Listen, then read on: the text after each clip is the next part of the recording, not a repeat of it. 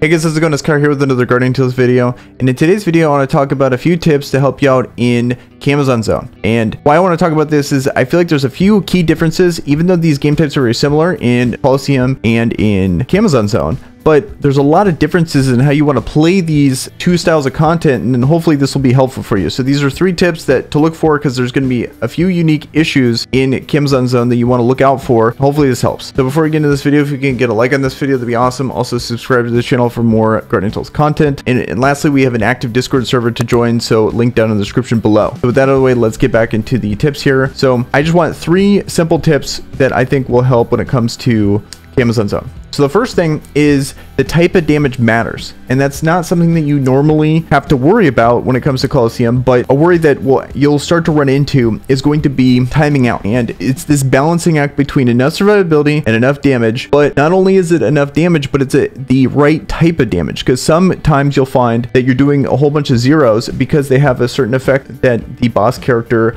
will completely remove all melee damage or will remove all range damage. So you really want to have a balance there. And for me, I like to wait if I'm picking up artifacts here in Kamazone, then I like to wait them for melee because melee characters on average do significantly less damage. So being able to make sure you have that boost here in Kamazone when it comes to your artifacts, I really liked either Rapture Breaker here or the thing that gives 100% melee damage, or I wish I can show it currency here, you could uh, get your benefits. You can add benefits to your run, and those are going to, you could choose melee damage. I think that's one that would be a good thing to prioritize if you're struggling. Like, let's say you only have Future Princess and Ogma on your team. You're really not bringing a lot of melee damage, and a lot of runs can end because you can't damage th through this tank character that is resistant to ranged, and you're having to rely on your melee character's damage. Um, and then another character, too, like in Beth, even, her skill is ranged. So it's like even though she's a melee character, her skill is ranged. Um, so it's just something to keep in mind. Uh, so types of damage matters. It's a really big deal. So keep in mind of that. This is kind of on the same vein as the damage thing, but cards you're going to want to use are massively different in this than in Colosseum. So here, let's go to the heroes here. So the first thing, I think the main difference is going to be these right here, and it's going to be on kill. You really want to make sure you're using a whole bunch of 8% attack on enemy kill because you're getting not only multiple enemies, but not only are they going to be, a lot of them are going to be significant significantly weaker,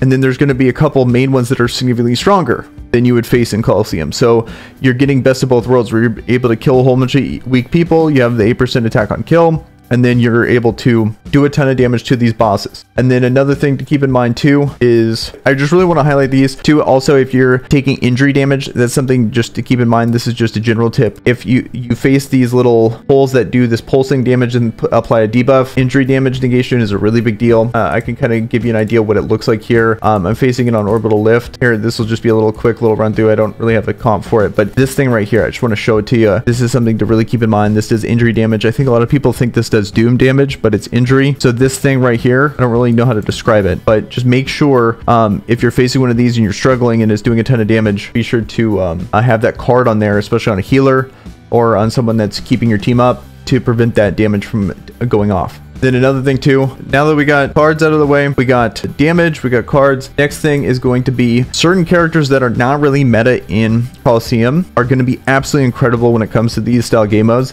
And the two ones that I really want to highlight here are going to be, first of all, Beth. I think Beth is absolutely incredible in this because not only is she one of the best melee characters, she's good typing in dark, which is the complete opposite of light here. So Future Princess is absolutely god tier in this. She's god tier in everything when it comes to these style of content because of her weapon skill.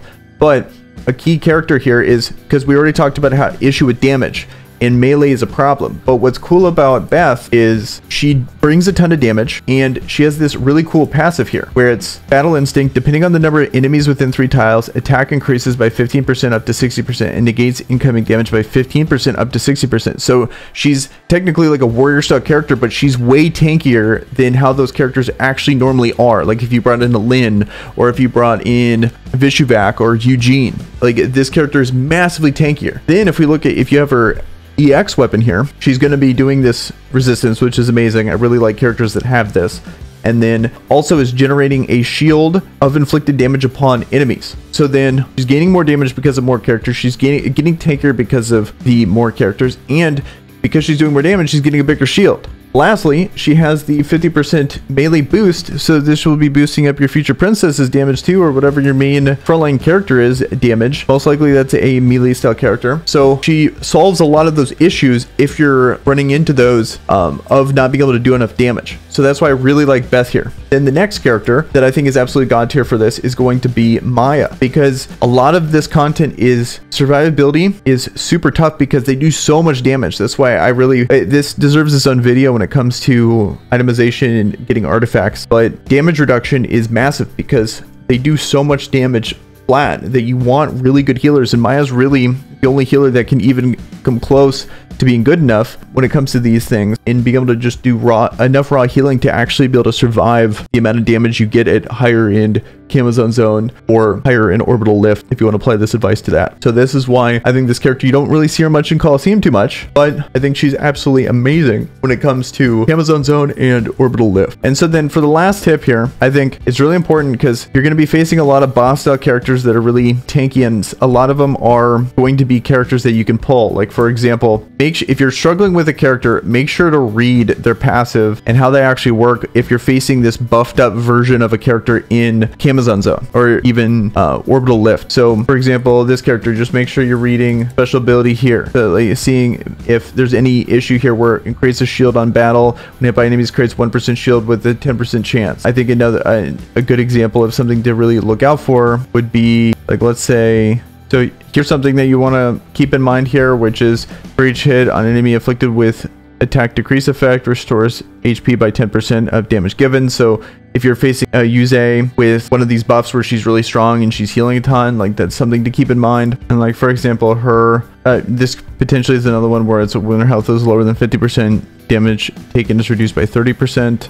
And then here's another example where it's if you're bringing in Beth, for example, you're trying to beat this uh, this person, or you bring in like Ogma or something like that, and doing too much damage. When hit by enemies with dark type attacks, attack increases by 50% for five seconds. So this, just keep in mind that these exist. You know, if you're facing characters like this, and then they uh, you're struggling, be sure to check out their uh, their special passives here because it potentially could be a really big issue. So um, I just wanted to throw that out there because I think that's something really to keep in mind that potentially is e potentially very easily overlooked and could be a big deal. Like, for example, she is a playstyle character. Obviously, you're not really going to want to take dark characters against her, but, you know, you might think you can get away with it, but that passive really sets it over the edge, and you could just take in another style character, another type of character, and then won't have an issue.